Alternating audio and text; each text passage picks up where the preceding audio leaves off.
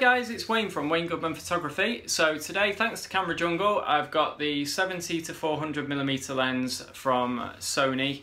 Um, this is a ZA mount lens, um, so to make it work on the a7R2, which I have here, I'm actually using an adapter. It's a Sony adapter, uh, it costs about 130 British pounds at the moment, and it's an LA EA3.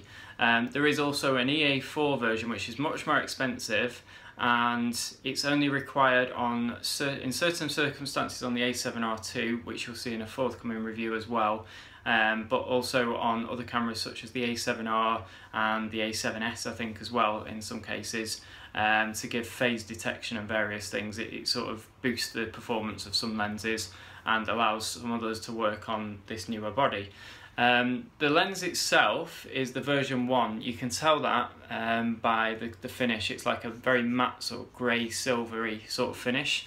Um, the newer version, the current one, the version 2, is actually a white finish to it. So that's how you can differentiate them. And um, they haven't changed too much between them. They've made the autofocusing faster.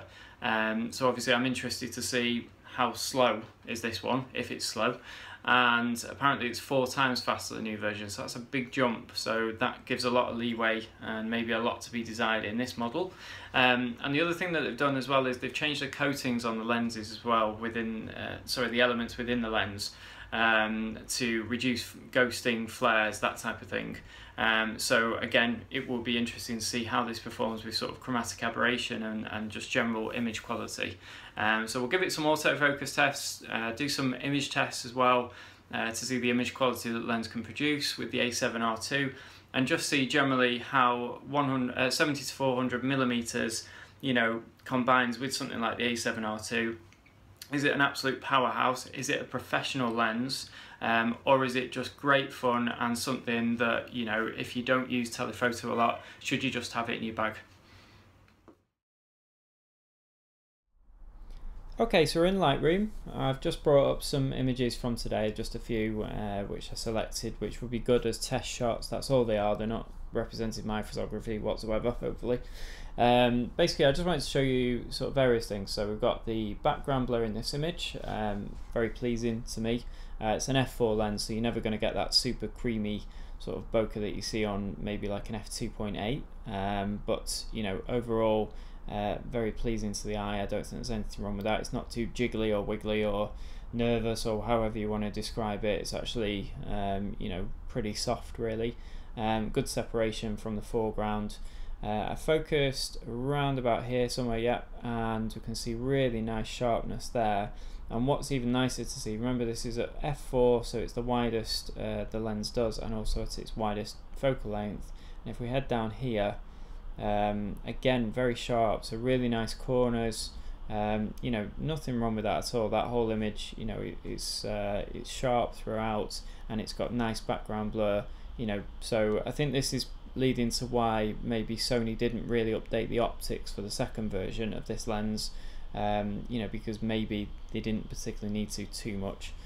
Um, heading into here so another one just showing the background so this uh, this barbed wire was actually only probably uh, about a meter behind this bush and you can see um, you know you can see how out of focus it is already so uh, that's at f4 at 70 again so if we just come into here and again nice and sharp. Now this bush was actually moving so um, I must have just caught it at the point where it wasn't moving. So I have got a nice sharp detail there.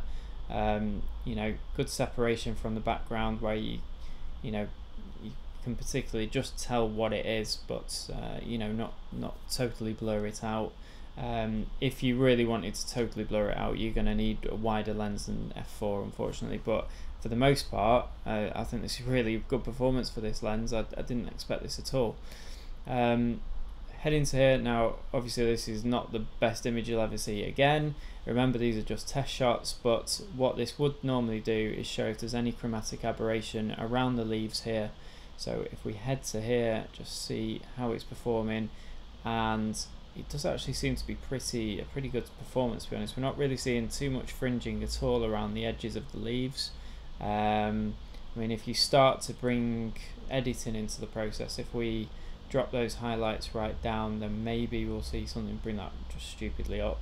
Um, no, again, pretty good really. Um, that that's not bad at all. That's really really decent. So uh, I always tend to leave my images for review here uh, and see them with you for the first time pretty much. I'll have a quick glance through them, but you know I won't particularly do anything. So I'm seeing them as you're seeing them, and for me personally, I think that's really really good. There's nothing wrong with that. Remember, this is the version one lens, which apparently doesn't have too many coatings on it, um, so it's doing pretty well. Uh, let's head into here. So uh, this is at 400 millimeters now, and I tried a few different uh, speeds just to see what we could drop it down to on the A7R2 using the, the IBIS, the in-body stabilization. Um, so this is at 1 400th of a second. At 400 millimeters, you would therefore expect a, a sharp shot, and we get that.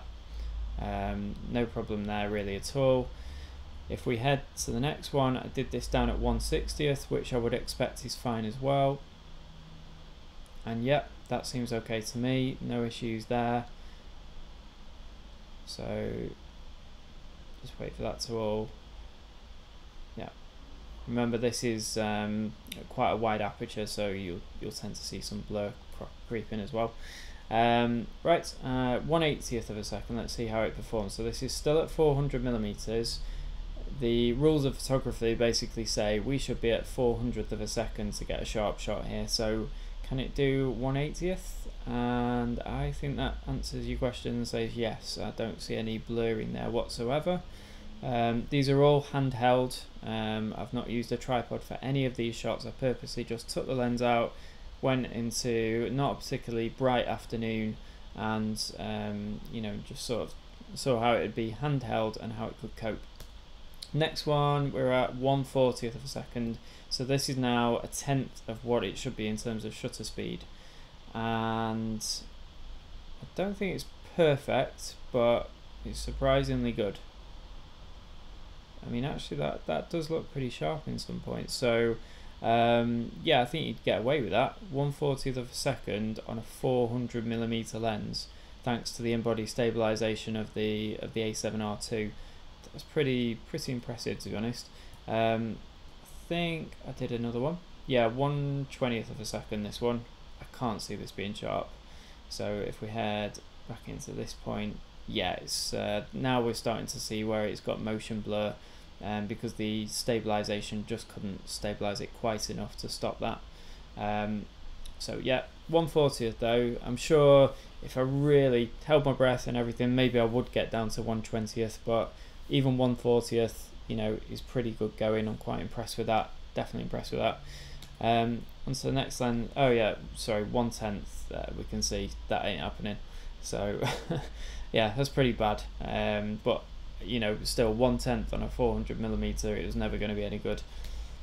Head to here. This was just a helicopter that flew above, and I just wanted to test how close you can get 400 millimeters this helicopter was like a dot in my actual field of view and I was surprised that we could get in this close um, perhaps if we go in even more yeah. So you can actually see some detail. You can see the light there.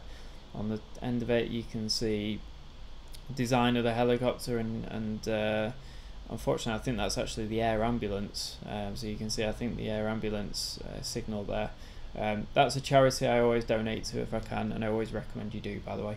Um, because you never know when we'll need things like that. Hopefully we don't, but it's always good to.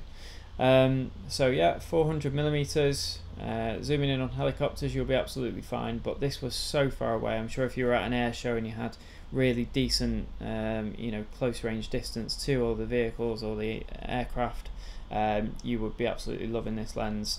Um, maybe the autofocus would struggle a bit sometimes, but I think actually it would do a pretty decent job. Um, this was quite um, interesting. I spotted these mushrooms, and I was actually surprised how close I could get in with the with the lens. Just to zoom back out a bit. Now, don't forget we got some noise here. It was at ISO 6400, so this is never going to look perfect. If I would have had a tripod, I could have done this at ISO 100 and got a really incredible shot, I'm sure.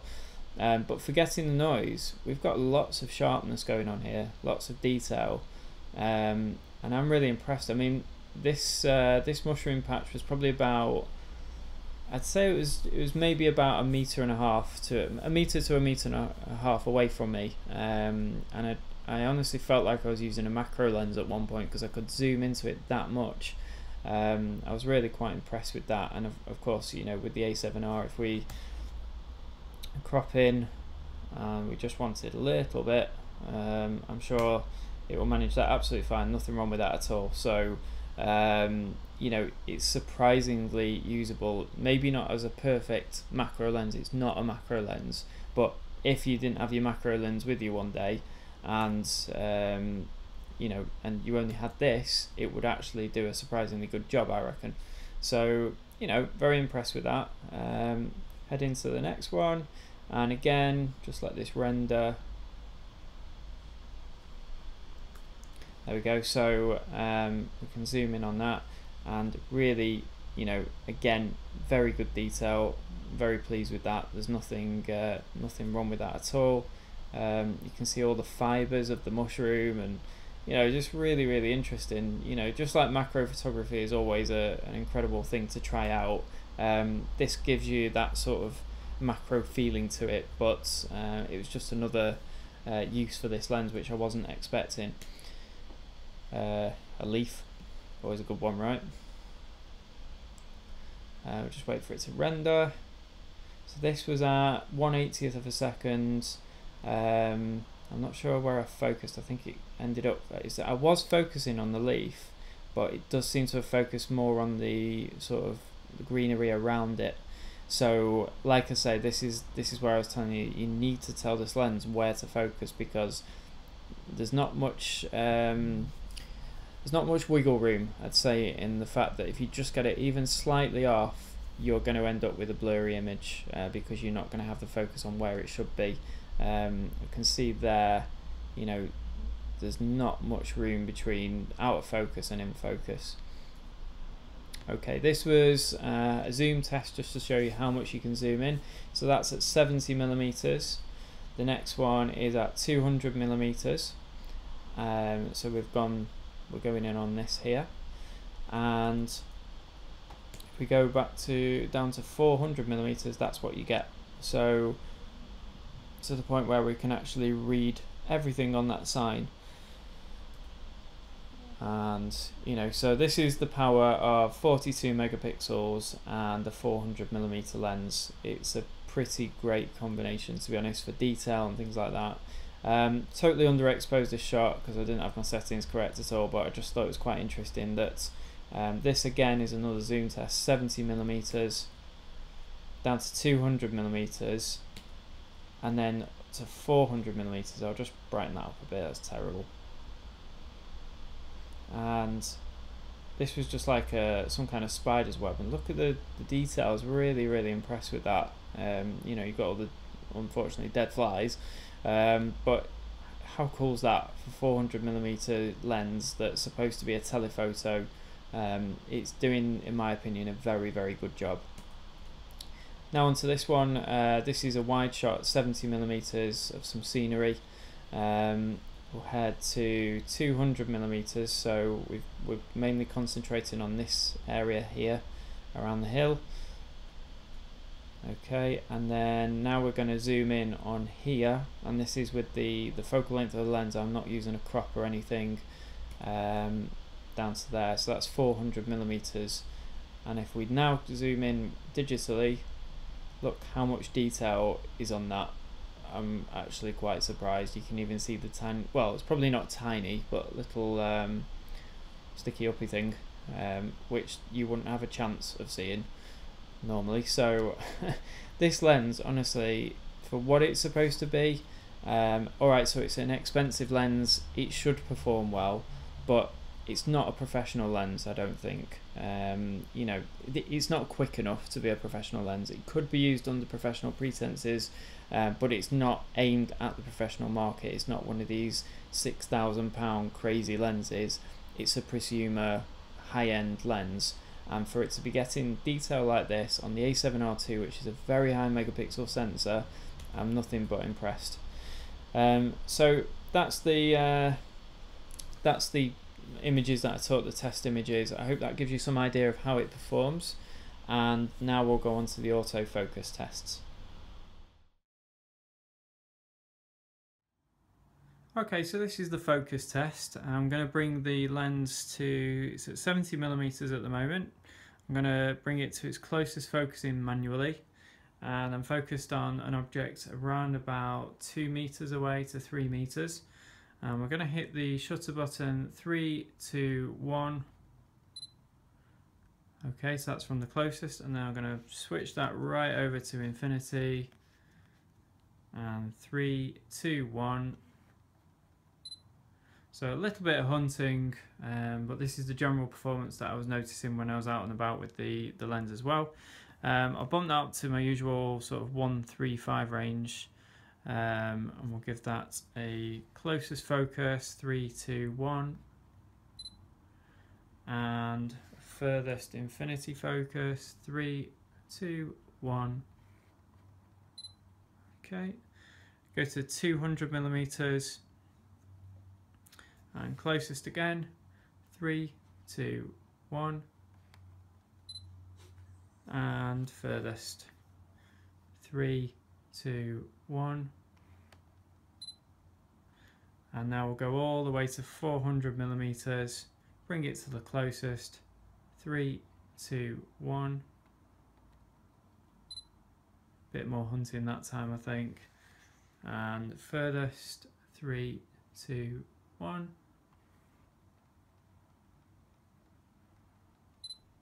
So much slower on that final attempt at 400. This is all in a, a room lit with just natural lighting. Uh, sorry, not natural lighting, uh, you know, actual fluorescent lighting, just normal halogen type bulbs, uh, that type of thing going on. So it's uh, it's currently dark outside, but there's plenty of light in here. Um, and I've also got one of my new lights, which I'm using for the videos, uh, lighting up the screen. So if I do that, you can see the difference. Uh, so plenty of lighting really, it should be fine. Um, it's showing as fine on the screen, so uh, that gives you a really good idea of how the performance of this, of this lens is. And now we'll move on to the conclusion. Okay, so you've seen the autofocus test, you've seen the image quality test, and I'm sure you've been able to make up your own mind, but I just wanted to give you some of my thoughts from using the lens throughout the day. Um, firstly, firstly, I would say it is quite heavy and quite bulky. It's not massive for its range though. Um, in fact, really, it's not massive at all. You know, it's what you would expect. So um, it's going to be a big lens with this zoom range. You know, unless you're talking sort of micro four thirds. Remember, this is a full frame system, so the lenses are always going to be quite big. Um, the the overall heft is not terrible, but if you are going to use this sort of for a day's shooting, uh, I would definitely recommend some kind of sling, you know, uh, camera strap like a Black Rapid, something like that, where it spreads the weight out and it's not going to drag your neck down, you know, because it's so heavy. Uh, so definitely something else to take into account, an extra expense that you're going to have to incur when you buy something like this, um, because my little Leica lens, uh, Leica strap here from 30 or 40 years old, you know, it's not, I'm not saying it's feeling like it's going to snap, but it's certainly pushing the boundaries of what this strap feels like it would take properly. And I'm sure with enough use, it would create a lot more wear and tear on a strap like this. Um, so that's the first thing, obviously, is the size of it. Um, now, autofocus um, is to me not that bad, um, but I've not been able to test it in the environment where I would personally use it, which would be sort of like something like a maybe a car racing event, that type of thing. Um, you know, because there's currently no car races on around me to actually go and really try this out, unfortunately. But I would imagine that it wouldn't be a great success rate. It'd be, I'd get the odd shot, but would I nail that shot that I really want from the day? Well, I don't know because it is relatively slow. But the main slowness comes from front to back. So if you focus on something really close and then something really far away, that's where it takes quite a while to lock on. It's you know it's quite slow, quite sluggish. Um, if you're taking pictures of the cars, say coming around the corner at the same point, or your child at football at the same point each time, it's going to be there or thereabouts, and that is one way to negate the fact that it's quite slow at autofocusing. But if autofocus is a thing for you, then there's no doubt about it, I would recommend the second version without even seeing it.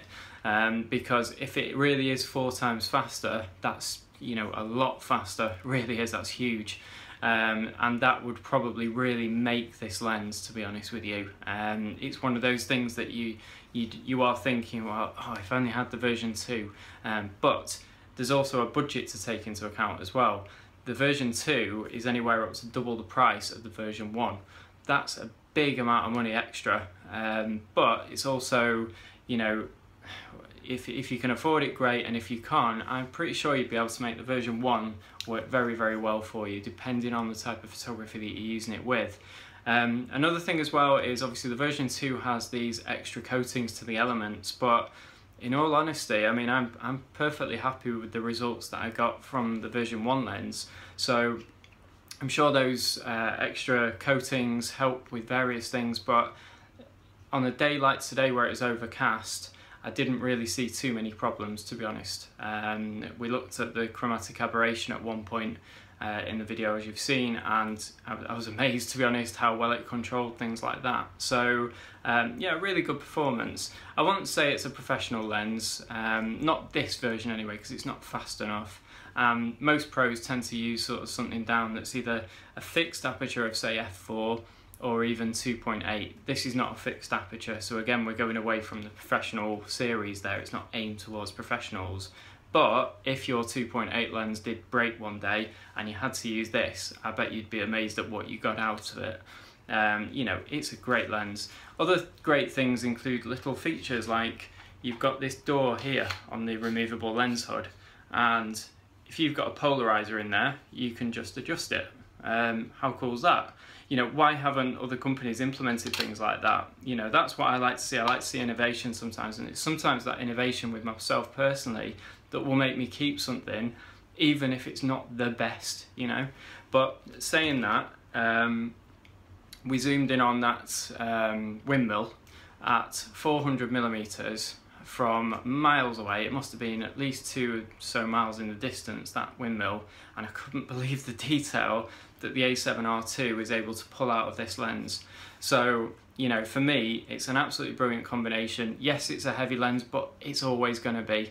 Um, you know, it's very rare that you'll find a lightweight lens that's got so much range as well. I mean, 400 millimeters is fine, but if you crop that on, say, the A7R2, you're going to quite easily come away with a, an image of equivalent sort of 600 millimeters um, you know, without noticing any image degradation whatsoever. So absolutely brilliant that you can do that. It's not stabilized, that's a shame, um, but we have the image body stabilization with the A7R2 um, and it seems to really handle that very well. So at the end of the day, you know, do you need the image stabilization on a lens when we now have these bodies that are so well kitted out for things uh, such as this? So, you know, it's a brilliant lens, in combination with the A7R2 and the EA3 adapter that I've got on here, I, I, honestly, I'm really impressed with it. I think it's fantastic.